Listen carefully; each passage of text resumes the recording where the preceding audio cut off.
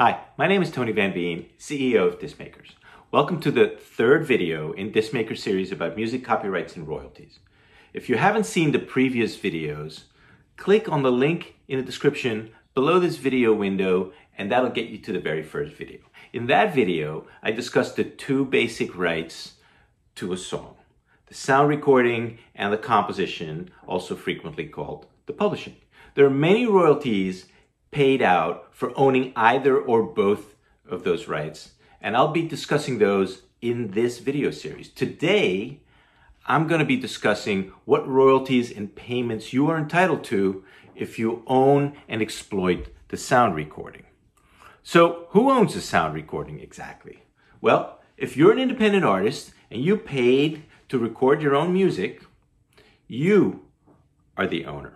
If you're on a record label, then typically the label owns sound recording.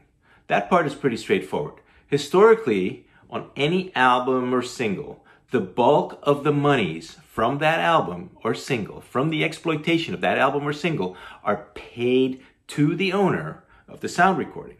Those payments typically go directly from the platform where the product is sold to the owner.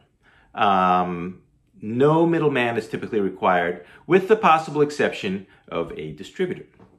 So, okay, here are the ways that sound recording is monetized today. Let's start with streaming royalties. Nowadays, as everybody knows, most music is consumed through streaming. And the bulk of streaming royalties, probably between 80 and 85%, go to the owner of the sound recording. The remaining 15 to 20% are paid through a performance rights organization, ASCAP, BMI, SESAC, for the public performance and to the owner of the publishing. So if you distribute your music to the streaming sites through any one of the big digital distributors, CD Baby, DistroKid, TuneCore, and you have signed up for their standard basic distribution service, you will collect about 80 to 85% of the available streaming royalties.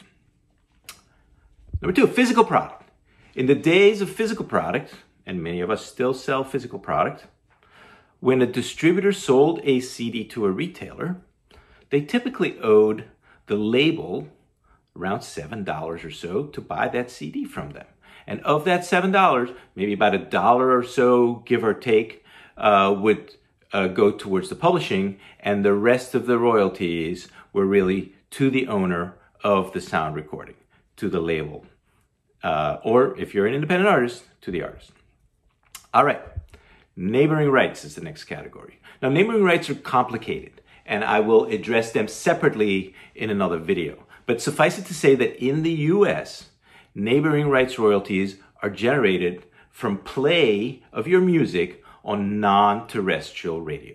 That is satellite radio like Sirius XM or internet radio like Pandora or iHeartRadio. And these neighboring rights royalties are paid to the owners of the sound recording and to the artist. Next up, YouTube payments. YouTube rights and royalties are also really complicated and merit their own video, or, or heck, maybe even their own video series by themselves. Suffice it to say that when YouTube knows that your music is being used in a video, whether it's your own or somebody else's video, they will frequently be able to run ads on that video, and part of the monies that those ads generate will go to the owner of the sound recording.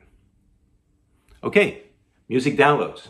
Yes, there are still about 17 people, I think, left in the world who pay for music downloads.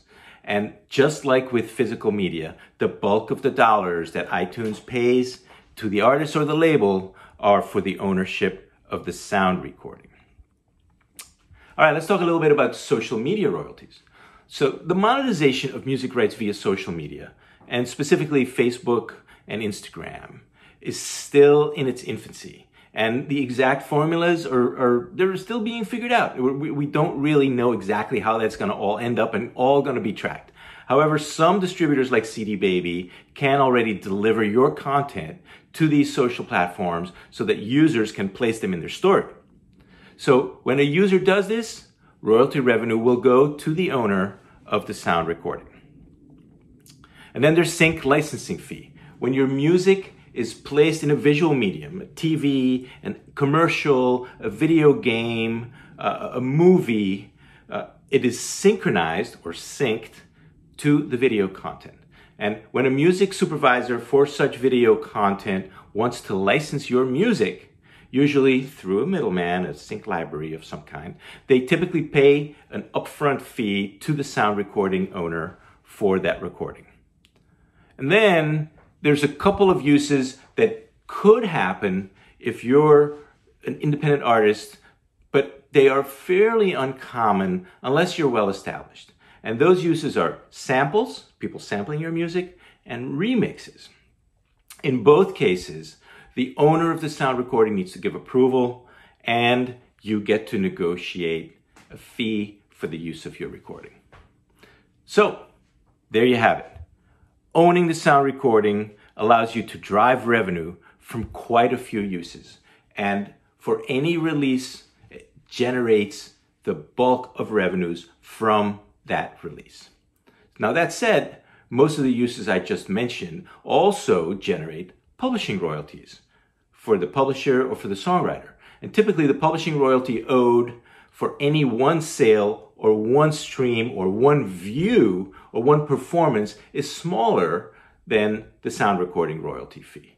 The power of owning the composition, the publishing, however, is that many people can record your song and then you can get your mechanical royalties paid out over all those sales, all those plays, all those views and performances from the many artists recording your song. I will be discussing mechanical royalties in my next video. And I will see you then.